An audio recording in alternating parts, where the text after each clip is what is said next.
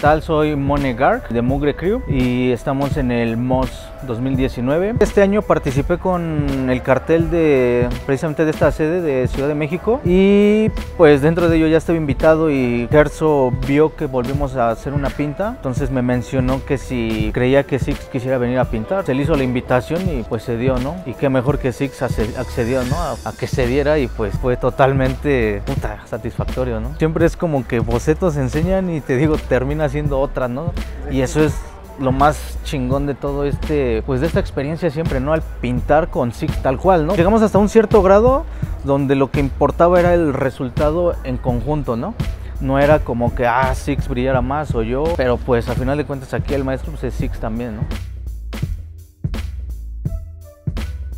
A mí me invitó Mone. Tenía como, uf, yo creo que unos 10 años sin pintar en una expo. Me parece fabuloso después de, 10 años regresar a pintar y encontrar que el movimiento sigue vivo y que hay muchísima gente interesada en el graffiti. Eso me, me gusta, ¿sabes? Saber que en México la gente tiene el interés de, de visitar este tipo de, de exposiciones. El nivel ha crecido demasiado en estos últimos 10 años. Recuerdo que las técnicas eran como de menor calidad y ahora me encontré con un montón de banda que tiene unas técnicas ya muy hardcore.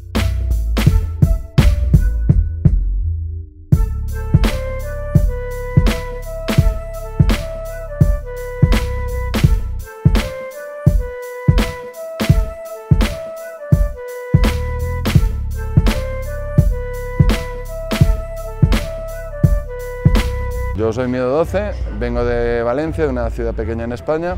Yo la, verdad es que la primera vez que vine, que vine hace cuatro años, los murales que vosotros hacéis, yo me quedé loquísimo. O sea, y de hecho fue realmente por parte de Bonsai, porque vino y dijo, ah, ¿has visto esto? Y dije, no, entonces empecé a mirar y era como, o sea, yo no había visto nada parecido, o sea, absolutamente, ni de temática, ni de colores, es que era como otro mundo completamente. Sí que yo más o menos me podía haber hecho una idea de ciertas cosas que, podía, que había visto en los fanzines, pero la verdad es que esperaba encontrar un, un rollo más Baja California, de esto de, de, caligrafías. Y entonces hace cuatro años lo que llegué fue más o menos lo que vosotros hacéis. Y luego además también un montón de bastante wild style y mucho 3D y sobre todo que es la escuela de dejarlo todo bastante pulcro, bastante pulido, que cuando yo vine en Europa era como mm, eso ya no se lleva, no es auténtico, tienes que hacer los contornos a pocket y ahora ya no tanto, ahora es como bueno, cada uno a su rollo, pero básicamente me quedé impresionado de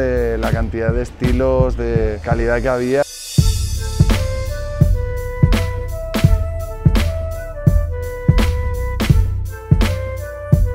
El trabajo de Mugre Crew es un trabajo que se basa mucho en la improvisación, pero es una improvisación de dos mentes. Tenemos que ser flexibles ambos, tenemos que yo inclinarme hacia su estilo y él tiene que inclinarse un poco hacia el mío para poder acoplarnos y que al final nuestra, nuestra dupla dé un resultado de una pieza que parezca hecha por una sola persona. En este caso puedes ver como a, una, a un ser que está como volando, que tiene varias manos. Eh, hace referencia mucho al consumo de la medicina ancestral, del DMT, los hongos, el peyote. Mi obra se distingue un poco como por el arte prehispánico y la obra de Mone, creo yo, desde mi punto de vista, que es como más pegada al lowbrow de Los Ángeles, de Estados Unidos. Los colores, la gama de colores que tenemos, normalmente la mía es de más colores, pero ahora nos dieron una gama de colores en, este, en esta exposición y nos acoplamos a esa gama de colores para trabajar. Bueno, en este proceso siempre como que la iniciativa es de Six, ¿no? Yo simplemente como que complemento su idea y voy aportando en, en el muro y siempre fue esa la,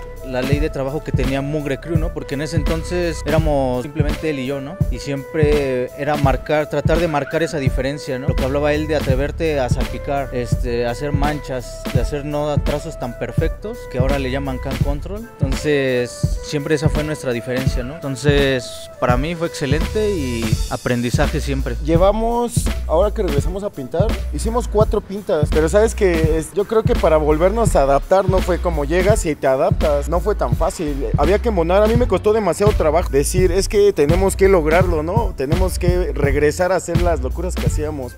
las últimas pintas que hicimos las hicimos hace 7, 8 años en Guatemala y yo creo que ahí fue donde nos quedamos, en ese punto, en esa gráfica, pues. Y yo quería que regresáramos a esa gráfica porque fue lo último que, que hicimos juntos. Yo creo que esta pinta que hicimos ahora muestra esa gráfica, pero evolucionada. De hecho, la, están viendo ahora y, la gráfica es, es la continuación de lo que dejamos aquel, en aquel entonces, pero como si hubiéramos tomado un viaje cada quien por su lado y, regresáramos a ponerle esos polvos mágicos a, la pintura. Creo que después de, esas cuatro, de esos cuatro grafitis regresamos a hacer lo, que queríamos hacer.